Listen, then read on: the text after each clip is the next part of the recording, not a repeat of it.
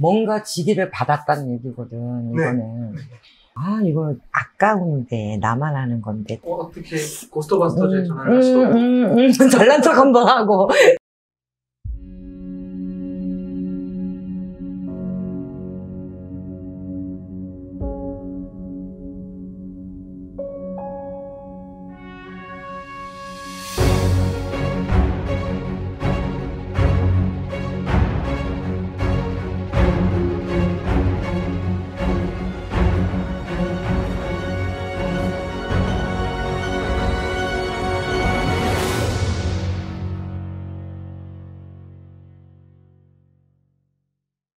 안녕하세요. 선생님 제가요 얼마 전에 이사를 했거든요. 오, 우와. 그래서 오늘 이사에 관한 이야기를 하고 싶은데 축하해. 이사 플러스 낭량 특집으로 귀신 이야기를 좀 해볼까 합니다. 어, 터, 터 얘기겠다, 그럼. 나는 원하는 집에 마음에 들었고, 여러 가지 조건이 합당했기 때문에 이제 계약서에 승인이 다 떨어지고 이사가 들어왔어. 근데 막상 하루 이틀, 한 달을 잠을 자는데, 뭔가 지기를 받았다는 얘기거든, 네. 이거는. 나는 이사를 더 이상 갈 수 없고, 여기에 걸맞는 집을, 비슷한 집을 못 구할 때, 빼도 박도 못하고 이 집에서 2년, 3년을 살아야 돼. 네. 그럴 때는 첫 번째, 귀신이 어디에서 움직이는지를 알아보는 방법. 아, 이거 아까운데, 나만 아는 건데. 어, 어떻게 고스트바스터즈에 음, 전화를 하시고 음, 음, 음. 잘난 척 한번 하고. 자, 얘기해 줄게요. 예.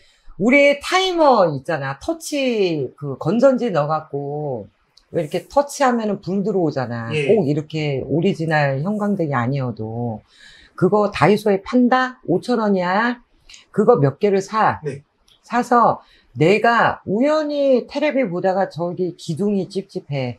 저 모서리가 찝찝해. 센서 등을요. 음. 어, 그 다음에 저 냉장고 앞에가 찝찝해.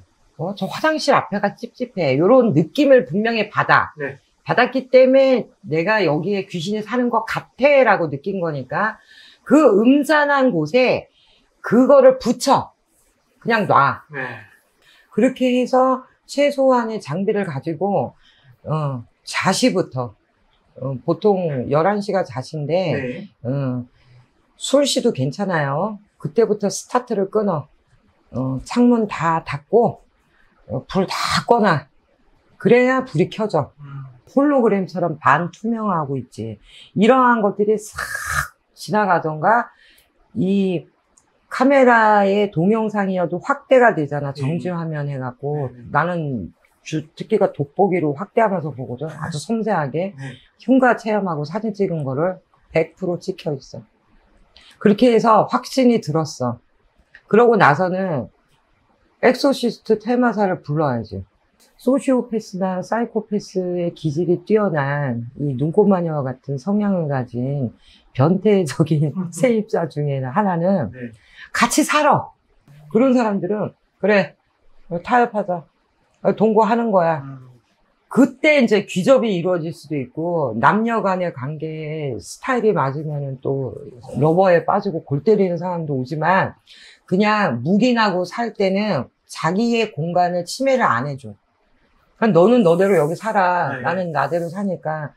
근데 너무 의뢰만 하고 상담만 하라 그러면 우리가 또 장사꾼 같잖아. 네, 네, 네. 나또 그거 싫어하잖아. 네, 네, 그러니까 여기서 마지막 마무리 포인트.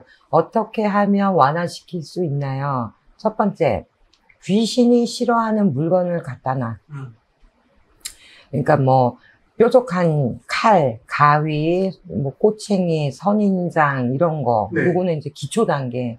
거기서 두 번째는 집에 있는 부정을 쳐내기 위해서, 어, 고춧가루, 소금, 물에 타갖고 대접으로 쳐내고, 이건 일시적인 거야. 네. 그 다음에 세 번째는 묵은 된장 있지.